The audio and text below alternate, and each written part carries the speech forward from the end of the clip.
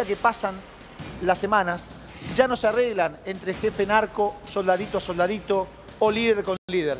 Hoy asesinan a todas las familias, incluso menores. Dale, Caro. Incluso menores e incluso gente que no tiene nada que ver. La semana pasada hablábamos de un doble homicidio en donde para ajustar cuentas o a modo de venganza van a buscar a un presunto asesino de un narco y en realidad como se encontraba en compañía de otro pibe de 20 años, lo matan a él también por las dudas. Bueno, acá en esa balacera que yo te contaba al principio, en el primer audio hacíamos referencia, esta mujer dice eh, desesperada, ¿por qué me vinieron a balear? Y qué sé yo, resultó herido un joven que simplemente había ido a comprar, es decir, un consumidor, ni siquiera un narco, ni siquiera un mafioso, ni siquiera alguien de los monos. Ahora, ¿te diste cuenta la facilidad, la tranquilidad, la pasividad con la que ellos hablan te llevo una pistola. Claro. Es como decirte, voy a comprar una docena de facturas. De, huevo, claro. ¿No? Ahí te llevo una pistola. ¿Qué tenés? Tengo una versa nada más. No puedo enfrentarme con mi rival con una versa. Tranquila. Tranquila, yo te llevo una pistola, te hago acercar una pistola. Objetivo muerte, objetivo matar. La libertad con la que operan es alarmante, Caro.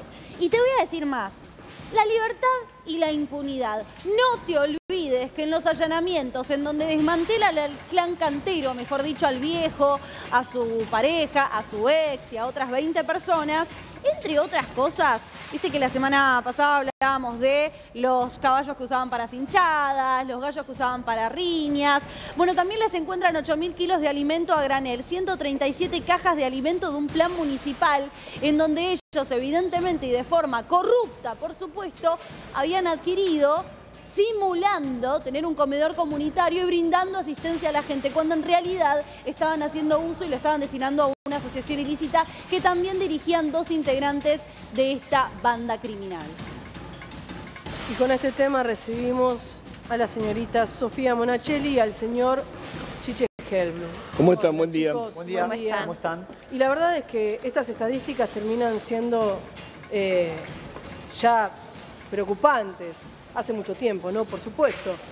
Pero da la sensación que este último año o estos dos últimos años tenemos que hablar de un descontrol total. En donde para mí hay un Estado ya lamentablemente en este momento en Rosario, un Estado paralelo. Totalmente. hay una justicia y hay una justicia que manejan los narcos. Es una zona liberada. Sí, totalmente. Una guerra, como dice Amalia Granata. Sí, lo que pasa es que, a ver, estás a menos de tres horas de la ciudad de Buenos Aires. Esto no es, digo, no es que está pasando en Chicago. Digo, lo que lo tenés acá, digo, a, media hora de avión. Y bueno, sí, pero, más allá de todo eso, ¿sabés qué, qué alarma? Creo que en un primer momento quizás a quienes vivían en la provincia de Santa Fe no les preocupaba tanto porque era guerra de narcos contra narcos. Dejó de ser así para mí.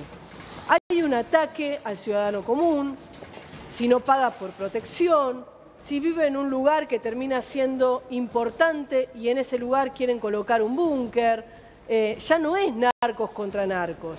Pero nunca fue narcos contra narcos. Pero lo tomaban así en un momento, Chiche. Eh, a ver, mira, te voy a contar lo siguiente. Hace cinco años, seis años, no me acuerdo, no más de eso. Viene un señor al programa que yo tenía este, en C5N y dice, esta semana me van a matar. Había matado a los dos hijos. Esta semana me van a matar. Estaba con la mujer. Este, le digo, pero ¿cómo? ¿No tenés protección? Todo bueno. Lo que pasa es que yo creo que eran los Gali, no sé cómo era la historia de la, familia. Esa semana me matar. Y a los tres días lo mataron. Anticipó su muerte, no sabía en definitiva me van a matar. Habían matado a los dos hijos, el taller mecánico, me van a matar. Era un, muerto que... Digo, a ver, frente a esa impunidad, después vino la viuda, decir, ¿Viste que anunció acá que lo iban a matar? Lo mataron. En base a eso que estás diciendo y comparando cómo se están dando las cosas en Rosario, si uno lo ve y juega con lo que ocurrió en México, por ejemplo, con lo poco que uno conoce, ¿no? Comenzaron con la guerra por el poder, por los barrios, por la venta, por quedarse con la droga. Después fueron más allá, la, guerra no era por aquellos líderes de distintas bandas, sino que era asesinar a la familia. Ir por la esposa, ir por los hijos, cosa que antes no se hacía. Y después fueron por las figuras importantes. Escobar Gaviria mataba ¿Eh? familias Está bien, está bien, pero digo, yo hablo de México. Después se fue dando un paso a paso en, materia de em, agresión, de violencia. Después fueron por las figuras importantes. Fueron por el arco político, fueron por los jefes policiales. ¿Por qué? Yo creo que de seguir así, Rosario no está muy lejos de terminar de esa manera. Yo creo que por dos puntos en No está muy lejos, ¿eh? Eh, por Vale. un lado, cuando hablamos de jefes, cuando Ojo, hablamos de justicia, hablamos de quienes no participan de esa connivencia y están quienes en realidad participan y en algún momento ya o dejaron de servirles o los traicionaron. Nos Entonces, en base a eso o no. avanzan. Anabelia nos cuesta reconocerlo o no. Ciudad Juárez y Rosario es lo mismo. Eh, pero está- está- Sí, sí, sí, sí, exactamente claro. lo mismo. Si uno Con agarra- el mismo nivel de muerte, sí, falta que, a ver, entraron a un casamiento, salieron de un casamiento, faltaba que el, el- el ataque se produjera en el casamiento. No, no, tenés más de 100 muertos. Pero ¿quién Chiche, debería Chiche, El accionar es el mismo, Chiche. Están es copiando mismo los mismos pasos. Hoy no tenés diferencia, es Ciudad Juárez. Yo creo que hoy la no andan con las ametralladoras por la calle, La sí, pero única casi. pequeña diferencia que tenemos en Rosario, ¿sabes cuál es? No, no hay diferencia. Yo para mí sí hay. Eh, todavía no se ha llegado al secuestro y a la tortura de la manera en que se No llegó a aparece gente colgada en los puentes. Exactamente. Después, fuera de eso, fuera de eso, la situación es prácticamente igual en A ver, comparación. pero ¿cómo podés entender que el, el viejo cantero, que no es tan viejo, tiene Sí. 50 y pico de años, que tiene 24 hijos legales este, y otro tanto ilegales, haya- estaba libre? ¿Cómo lo podés entender? Bueno, las escuchas, estas lo demuestran. ¿Por ¿Querés que te cuente un dato más? Sí. Estaba libre en la casa que estaba anotada en la justicia como el lugar que le otorgaban para que no se escape. Fíjate cómo es la locura misma. No estaba escondido en un No. búnker, en una quinta No, desconocida, no, no, no. en un lugar lejano No a estaba en la lo- selva misionera, en No, un no, túnel, no, no, no. El domicilio que había registrado en la justicia es el lugar que terminan allanando. Chicos, hay, hay hay un ruido continuamente en un- en un un micrófono. mic que está haciendo ruido y se nos dificulta poder escucharnos. Eh, había, había registrado, como lo hace cualquier persona que tiene antecedentes en la justicia, un domicilio. Ese domicilio que había registrado es en donde allanaron y lo encontraron. Vamos. Pero chicos. ¿quién debería intervenir entonces para que esto cambie? Porque evidentemente a la justicia respeto no le tienen. Justicia se reúne esta semana en Rosario para con- reunión, reunión con todos los jueces rosarinos, eh, con todos los jueces Esta santafesinos. semana. Sí, pues, vamos, viernes. A lo mejor sirve para algo. qué sé yo, El no viernes sé. va no solo la Corte, los integrantes de la Corte Suprema de Justicia, sino también jueces- varios jueces federales. ¿Cuántos muertos el tuvieron que Consejo de la pasar? Ah, Magistratura. el tema que es muy difícil cuando ya la plata está en la economía del lugar. Porque si uno va, a ver, eh, yo fui el año pasado, voy muy seguido allá. Si uno ve las torres que hay, los countries que Eso hay. es mitad soca, mitad dólar. Por eso te caes sí, detrás sí. de lo que, lo que es, lo que A creció ver, Rosario. pongan, pongan, a ver. Están ahí, están en el arco, quieren hablar con vos. ¿Quién? Ahí están lo de Guille, lo, de, lo del Guille y lo de la Vivi y todo, ahí están. No quieren que hablar mal arco. Te dije, hijo de puta, ¿Quién? que te tiré p***. Siempre ¿Quién? que te dije lo que hiciste, p***, chupatija. ¿Quién? ¿Quién? a NASA, ahí que baje NASA. Que baje NASA con un teléfono que quieren hablar con vos, dale, loco. Dale, ¿Que quieren- te van a matar todos los pibas y dale. Bueno, pasar el teléfono mío, ¿eh? Pasar el teléfono. En serio te digo, dejate ser mafioso. En serio te digo, dale, que baje NASA ahora, dale. Que baje NASA, Lelí, a ver que tiraron tiro, dale. Si no, y tiraron eso. ¡Qué no, hijo de puta! Que todos lo vieron, dale, que bajen porque lo están esperando ahí en el arco. Dale, Bueno, quieren así- hablar con vos. Bueno, pasar el número mío, ¿eh? Pasar el número es el mío. número tuyo. Quieren que vayan Nazi y el Elías. ¿Ah? Quieren que vayan los pibes, los pibes quieren que vayan. Que ¿Para vayan que dijo, dijeron ahí la rubia, todos están, dale. ¿No vayan quién? ¿Y si el NASA estaba con el Ariel?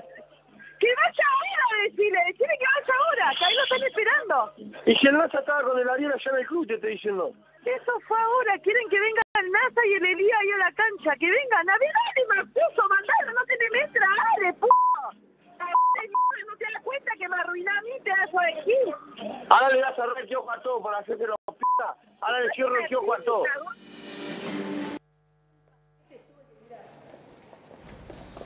¿Este diálogo con quién es? Tuvieron que desechar la droga. Aparentemente es entre dos narcos Sí, sí. que manejan la zona. Bueno, pero te voy a...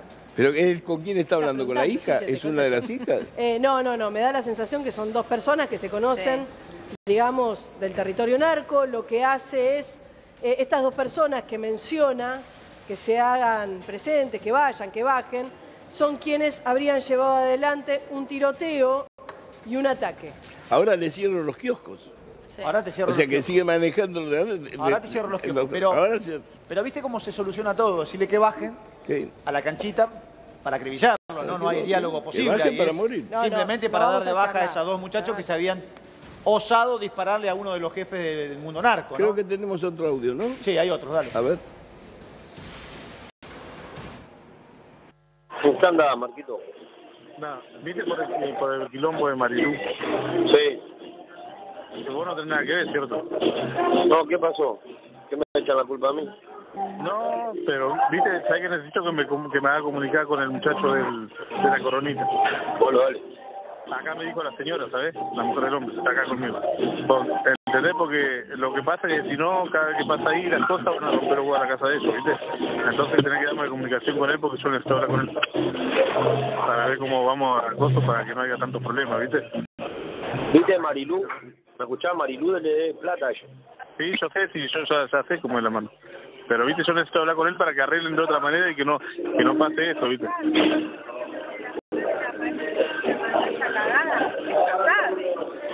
¿Te escuchaste? ¿Te escuchaste lo que dijo? Viste que están pasando están pasando muchas cosas acá afuera. Sí. Y nada, y tienen que tener cuidado. Viste, yo tengo que hablar con ellos sí o sí porque tienen que trabajar de otra manera. Así, viste, con confite no, ya está. Que se cobren de otra manera. Que hagan mejor las cosas. Acá está la señora, fíjate para que vea que ahora Para que se comunique conmigo. Hola. Hola, doña. Ahí apenas se levante el pibe, yo le digo que se comunique con Marco. Y sí, porque ustedes saben que acá está, también está todo podrido y se la mandan, se la mandan y lo siguen ensuciando a nosotros. Sí, sí, sí. Lo que pasa es que el muchacho se le dio una platita al muchacho. Sí, pero primero tiene que preguntar si, si arreglando de otra manera se puede. Si no saben que ahí hacen algo y lo ensucian a nosotros. Sí, Encima sa- acá todavía está todo podrido, no está todo bien. Y no, yo no voy a dejar que me rompan de vuelta a mi casa por las que se mandan ustedes. No, no, no. Yo, yo la entiendo, doña. Aparte, yo también me perjudico.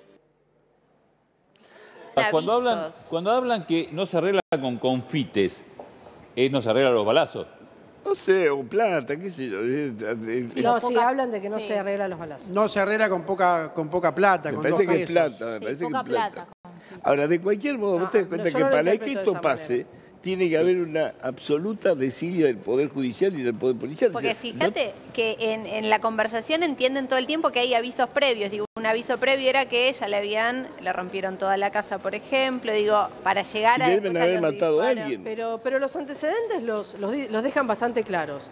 El hecho de que se mueven vendiendo drogas, Sí. que hay enfrentamientos en lo que es el territorio y en donde avanzan los narcotraficantes.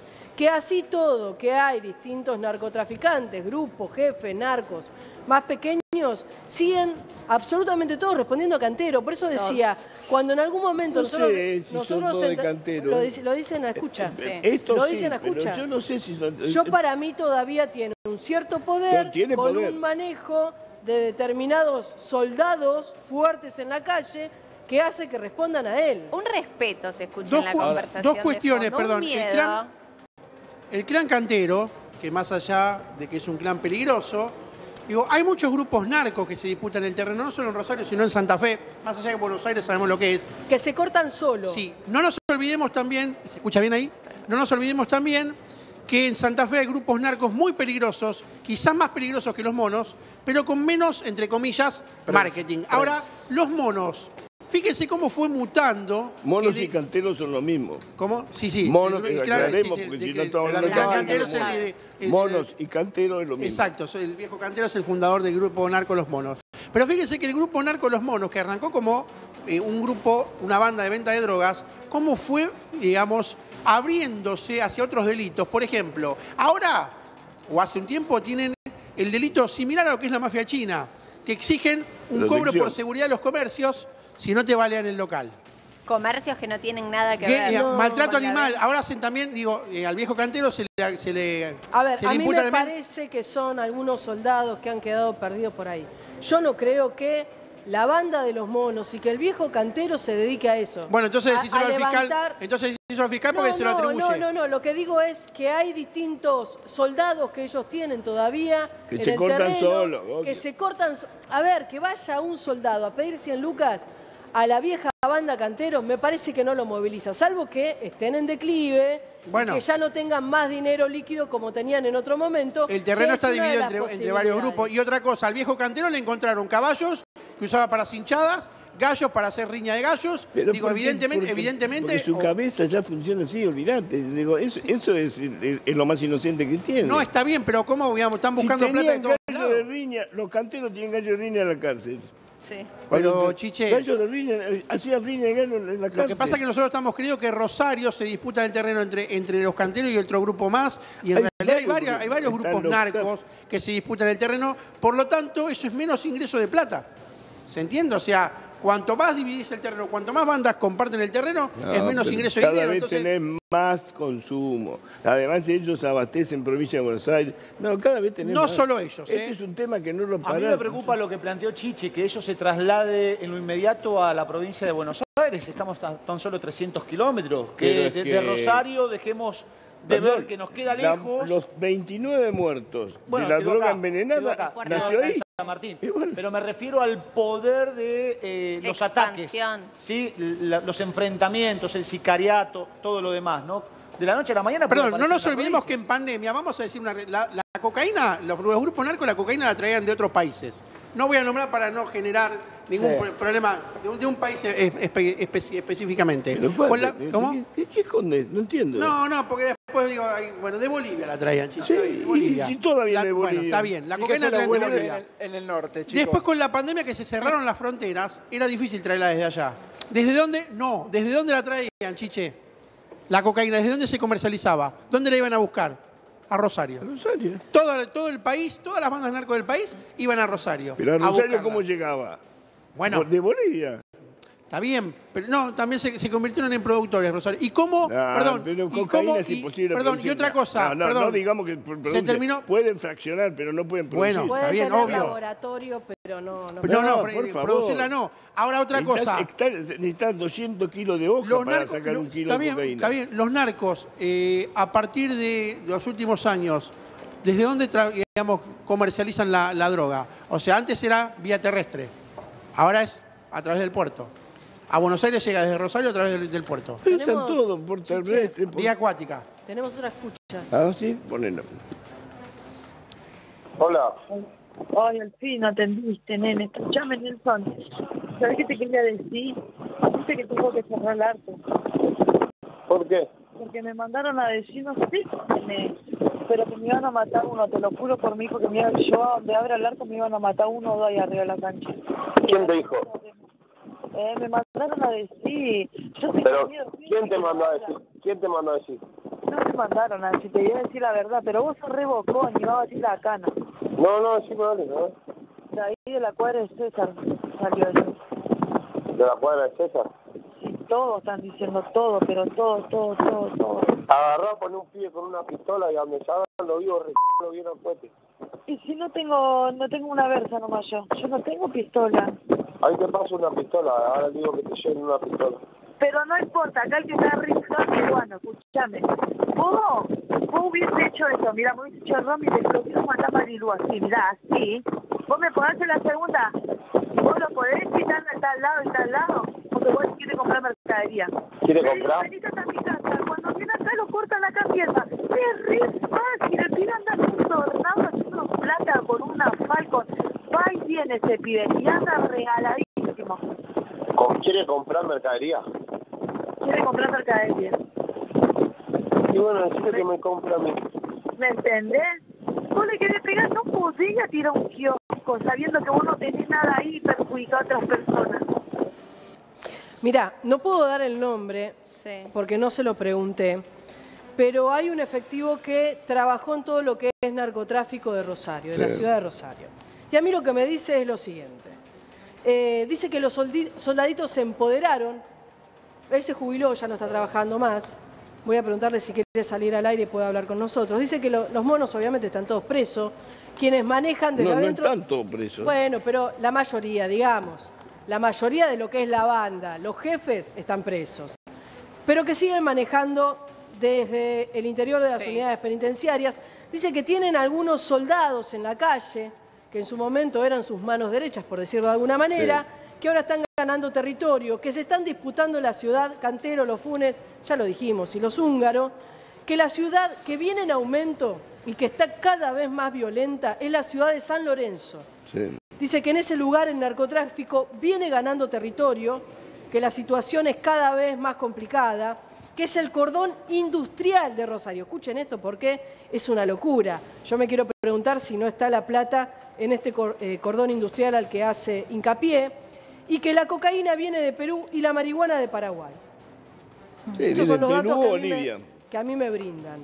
Ahora, Eh, cuando hablamos de, Chiche decía recién del tema de la justicia, y mencionamos que el viernes va a ir la Corte Suprema, la justicia santafesina, especialmente la de Rosario, dice que, ¿sabe cuántos, el- los casos de narcotráfico, cuántos casos, qué porcentaje de casos se ocupa de la justicia de Rosario? El 80%. El 80% de los casos tienen que ver con narcotráfico. Y dice que requieren... Porque ahí están los crímenes, están los robos, está todo. Claro, requieren un 50%, piden 50% aumento de personal, piden una cárcel federal, piden, dice más infraestructura, dice que para los fiscales tienen solamente 7 notebooks, 7. Pero eso es parte de la especulación que tienen los narcos. Saben perfectamente que no hay respuesta ni Cero. policial, ni política, ni judicial. Pero si Entonces, aumentamos, obvio. si aumentamos eh, la capacidad del Poder Judicial, si aumentamos... no hay eh, seguridad. no, por eso digo, ¿Quién el, va, el quién va problema a está- hacer un suicidio? Pero por eso, pero el problema... Estás investigando, es tu trabajo, es tu tarea. ¿Qué tipo de seguridad le brindan a ese?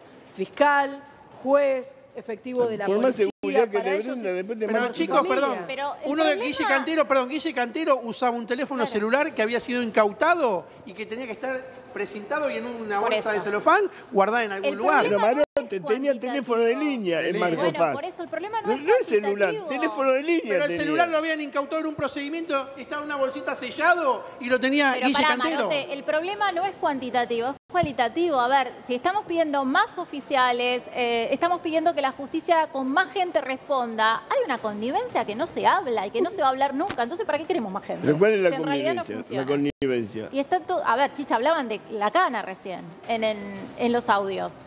Y de la cana pasamos al- a la justicia. Y de la justicia pasamos Al a determinados político. Escuchame, jueces. tuvimos- echaron seis jefes de policía por ser socios los narcos. Y entonces, Ocho ¿qué hacemos? Intervenimos Ocho. Rosario. Eh, pero no te olvides que a vos te lo dijeron en una entrev- una entrevista, en un pase que hicimos, no recuerdo el nombre de la persona, te habló de 20 subbandas de narco, narcopolicías. 20 subbandas de narcopolicías en Rosario. Es que, A ver, pero, ¿qué Eh, es- el gobernador le vino a pedir parar. por favor de rodillas al presidente de la nación que por favor Sí, pero le a 500 cambiar los jueces. Dividir, te manda Y 500 gendarmes. gendarmes. Dividilo en tres turnos. Más los francos, es como que no te manden nada. No alcanza, Chicho, vos sabés que no alcanza. eh, por- A ver, una situación así como la que vive Rosario no se puede dar si históricamente no hubo una convivencia Claro. política, judicial. Sí, pero una Y cosa... policial. También, pero, pero por algún lado tenés que empezar. Acá Obviamente, empezó, digo, que- obviamente. Va- Vamos a suponer que ¿Podés está empezar? desactivado. Claro. Lo metes en cana, en una cárcel federal, en Marcos Paz. Tenían teléfono en línea. Claro. Sí. Ahora con la guita que mueven ellos. Ahora, tenés que empezar. ¿Por dónde empezás? No podés teniendo empezar. en cuenta esta situación. Una Tiene vez- que haber decisión política. Les cuento- les Lo cuento- primero es una decisión política. Les cuento una pequeña anécdota. 2013-2014, Pero si Policía no, preguntarle Federal. a Gastón Marote que no me deja hablar a mí, te lo va a explicar él. Policía Federal, Chiche, no la Policía de? Santa Fe. Escucha esto. No sé, Policía no. Federal hace un operativo eh, antinarco contra los monos en Rosario. Solamente lo sabía el fiscal de la causa, el jefe de- de lo- del, del cuerpo a cargo y los cuatro o cinco policías que fueron. Sí. Llegaron a, la, a la- a donde viven los monos, que es, es todo un lugar muy precario, salvo la casa donde No viven los monos, no salvo la casa donde viven los monos, que son a puro lujo. Ya estaba el abogado de los monos. ¿Cómo se enteró? Si era un operativo sorpresa. ¿No? Digo, Porque se lo avisan antes, por eso es sorpresa. ¿quién, sí, sí, ¿quién se lo avisó? Si había cinco o seis personas La nada más que lo policía sabían. se lo avisa, o el fiscal. Policía Federal, de- era, no era Policía de Santa Fe. No, no importa. Normalmente Exacto. ese tipo de operativos que son tan sensibles hacen que tengan un lugar de encuentro y que queden ahí varados hasta tanto le den la orden para que lleven adelante el operativo, sin que ni siquiera el jefe que está a cargo de ese operativo sepa el lugar que, termine- que tienen que terminar allanando. Ese es el nivel, digamos, Igual ya lo sabían, tenían el allanamiento, tenían todo listo, Sí, llegaron y se encontraron con el abogado. A ver si nos entendemos. Si Estados Unidos, que tiene No, la tiene mejor la tecnología, justicia, no tiene el FBI, tiene la DEA y tiene todo, no puede luchar, ¿vos creés que con 500 gendarmes y la policía de la provincia de Santa Fe lo vas a solucionar? ¿Quién detuvo a el problema Guzmán? es, es más complejo. Estás hablando del mayor negocio que tiene en este momento el mundo. Fútbol y droga. ¿Sí? Correcto. El fútbol está por lo menos tener, tener la, la organización. Ahora, en la droga no tiene organización. Perdonadme, Pero perdonadme. si no tenés- el. FBI no puede. La DEA no puede. ¿Quién detuvo a ¿Vos Chapo vas a Guzmán? poder con los gendarmes? ¿Quién Chiche, detuvo a. Chapo Guzmán, Chiche? Chiche, La DEA no fue. Unidos. Los marines. Sí. la droga, o muchos integrantes de las principales bandas de droga, manejan clubes de fútbol. Sí. El ejemplo Cali. el Pues de esa manera blanquean. ¿eh? blanquean. Y en Rosario han investigado y han encontrado. a- Pero son los dos mayores negocios en que tenés Rosario en todo momento Central del mundo. y en Newell. ¿Se acuerdan el búnker Sí. que había dentro del estadio de Newell? ¿Se acuerdan la puerta de hierro que tuvieron que ir a, a soldar para poder entrar y estaba parte de los integrantes de la banda ¿Se acuerdan de la sospecha de compra de jugadores? relación con los canteros? ¿Compra de jugadores de parte de los canteros? Así como la banquita. Eso te estoy diciendo, son- a ver, son los dos mayores negocios que hay. Uno lo tenés más o menos controlado a través de la FIFA y las federaciones. Más el otro no tiene Qué- control. Qué feo suena más Ahora, o menos ese- controlado, ¿no? Claro, Nos tenemos que acostumbrar ese menos más que o más. Menos eso te digo, vos tenés, tenés dos cosas. Increíble. O luchar de verdad o si no haces una convivencia pacífica. Vas a hacer eso como hacen algunos estados en México. Ese es eh, justamente lo de México. Este fin de semana en Cancún, en la zona de los bares, en la zona más turística, otro tiroteo. Sí, ¿y pasó es hace decir, cuánto? ya eso me da la impresión que se les está yendo de las manos a los narcos. Eso, aparecen nuevas bandas narcos, aparece una discusión por territorio que está hasta atentando contra el negocio, porque no creo que el negocio en Cancún sea que no vaya más turistas para los narcos. Eh, Pero- como hicieron con Acapulco, Acapulco la destruyeron. Pero a mí me parece que ese es uno de los problemas que están teniendo inclusive en Rosario. A ver, el territorio cuando era controlado, no digo ni que estaba mejor No, para no, que no, empiecen a... yo coincido- pero yo- cuando era controlado únicamente por el clan de los monos, por cantero, por los canteros, y no había esta gran cantidad de bandas, tampoco se veía estos enfrentamientos por Bueno. territorio, tampoco se pedía a, a los eh, comerciantes dinero por protección, tampoco había Fueron estos enfrentamientos. también. Bueno, pero es lo No, que no, pasa- pero eh, a ver, el control estaba en manos de una sola banda y estos enfrentamientos no eran tan brutales. Bueno. Ahora, Es que cuando el negocio crece, Claro. eso Claro. es imposible. Pero para, es, es lo que pasa en el fútbol con la barra. Si vos no tenés barra brava en el fútbol, en la tribuna, te van a robar, va a haber mucho más incidentes de lo que hay la ¿Quién la barra. ne- pero ahí la necesitan Siento muchos que es una bueno, pero siento que es una locura, es una la locura, van pero haciendo. son- No, no, no, Es perdón, ¿eh? No, no, no es que no te van a robar. Te van a robar, pero los que roban, roban para la barra. Siento Eso que- de que al punga lo detuvo la barra es mentira. Lo que pasa es que era un punga que se cortaba solo. Yo te ¿Por? Pero porque los manejan los dirigentes. Yo te puedo asegurar que- no achiquemos. Una cosa es un punga y otra cosa No, es el narcotráfico. Me parece una locura. Bajar un poquito porque, a ver, es una locura. Digamos, los pungas lo pueden controlar y te venden dos pasos de marihuana. Estamos hablando del narcotráfico, No, si en el volumen en que están hablando ellos. Ah. Y además con 100 muertes en lo que va del año. Eh, Digo, pará, no es una boludez esto, ¿viste? Si nosotros lo reducimos al tema de que son pungas, no es el problema ese. igual me parece una locura. Yo estoy pensando mientras estaba hablando y estaba haciendo el relato, yo decía, fíjate qué cruenta que es ahora la guerra que hay en la ciudad de Rosario, que estamos Es pensando o interpretando que cuando estaba en manos de los monos, Era no era... No, más allá de que en manos de quien esté, cuando el negocio crece, se Hay produce competencia. esto. Hay competencia. es el capitalismo, digamos. El capitalismo No llevado solamente cuando el negocio crece, que es cierto, también cuando los capos narcos comienzan a caer presos o detenidos o son perseguidos, entonces comienzan a crecer las bandas que son ¿eh? de soldaditos y van a- queriendo tener más poder. El, eh, las dos cosas al mismo tiempo, ¿no? Cuando cae el, el jefe, Está, eh, a ver, está Hernán Kovacevic, investigador de, de federal. A ver, Anabela, vos Hernán, Hernán Kovacevic eres un ex, La un persona ex, que te escribió, no sí, policía de la PFA, hoy abogado que continúa trabajando obviamente en la provincia de Santa Fe. ¿Cómo estás, Hernán? Hay algunos datos Hola, que a mí me llamaban mucho la atención. Yo hoy, que vos estás en línea ahora con nosotros, lo puedo brindar. pero lo que nos decías o nos escribías es que en realidad a la banda de los monos lo lleva a la justicia la PFA en una investigación que hizo de los patrones. A ver, contame un poco sobre esto. Claro, eh, lo que quise decir es que el, clan de los monos fueron enjuiciados por narcotráfico eh, por la Policía Federal de Rosario, que la causa le llamó los patrones. Anteriormente habían sido investigados por la justicia local por balaceras, amenazas, homicidios, pero el primer caso donde se determina que los monos eh, traficaban droga fue este caso que te digo, que bueno, hace varios años ya, que creo que el juicio fue el anteaño pasado. Pero el Así tema, fue el tema de los patrones. Pero el tema es que hoy eso creció exponencialmente, Hernán. Digamos, eso pasó cuando la- en algún momento empezó a hablarse del, del clan cantero de los monos. Pero en estos momentos la guerra es total. Digo, a ver, aumentó la violencia, matan bebés, salen, a- de, de- salen de un casamiento, le prenden fuego el auto. A ver, digo, está cambiando el perfil. Digo, me parece que es mucho más, mucho más violencia. Más de 100 muertos en lo que va del año no es un tema menor.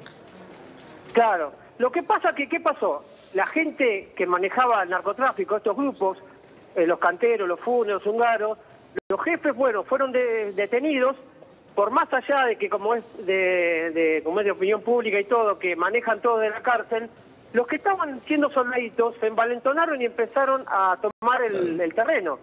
Claro, ¿Y pero vos decís tomaron? con naturalidad, pero ¿sabés qué pasa, Hernán? Vos decís con naturalidad que desde la cárcel manejan la droga. Eso es lo que asusta, porque vos decís, ¿para qué lo vas a meter en cana? Tenían un teléfono, tenían teléfono fijo dentro de Marcos Paz. Eh, Esto es lo que aterra, es el poder que contienen con la guita, es que no hay manera de pararlos, porque vos lo metés preso y en el fondo lo que le das es seguridad para que no lo maten. Pero digo, eh, o sea, todo sí, sí, sí, está... te entiendo.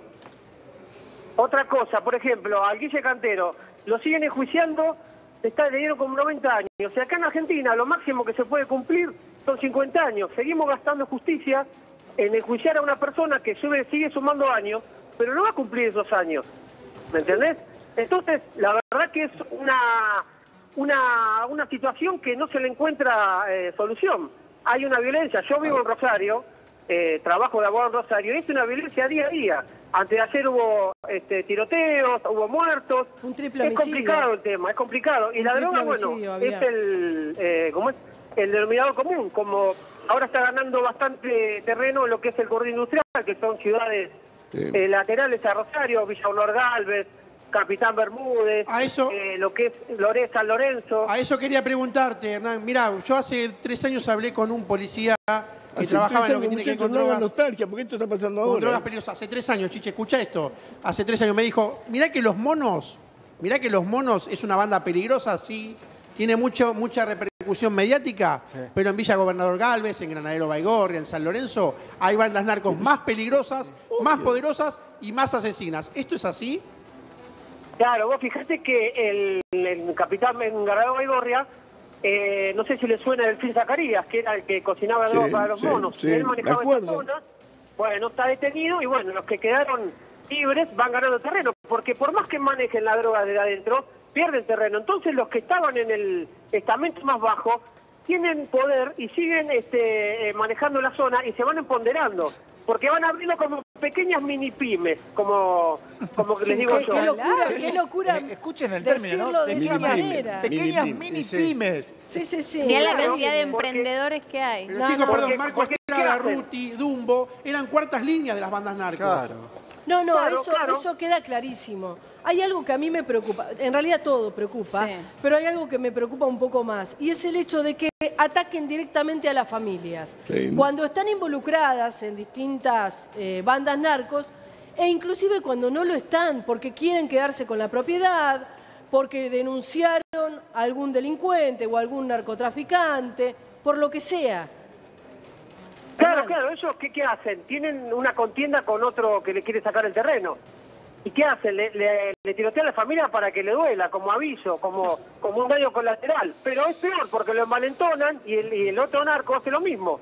Se pe- es una lucha encarnizada entre ellos. Se pelean por la zona. Y en el Cuando medio, la gente tiroteos en una común zona, Yo insisto con algo que dijimos hace un tiempo acá. Recuerdo que el año pasado, cuando había- tocábamos el tema de Rosario con Chiche, Chiche medio que se enojó con nosotros, con Anita y conmigo, Qué raro. cuando dijimos que No iban a, comenzar la guerra entre familias, iban a ir en busca de la ¿Yo me mujer, de los Sí. hijos. Dijo, no, eso acá estamos no muy lejos. enoja. Dijo Chiche. Ya estamos en eso. Y en menos de un año después estamos hablando de eso. Está- lo que está se bueno. viene, lo que se